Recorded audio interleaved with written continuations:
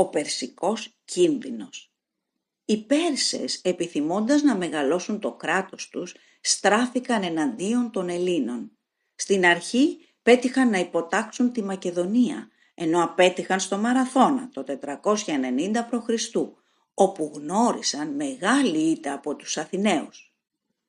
Την εποχή αυτή οι Πέρσες προσπαθούσαν να μεγαλώσουν ακόμα πιο πολύ το κράτος τους.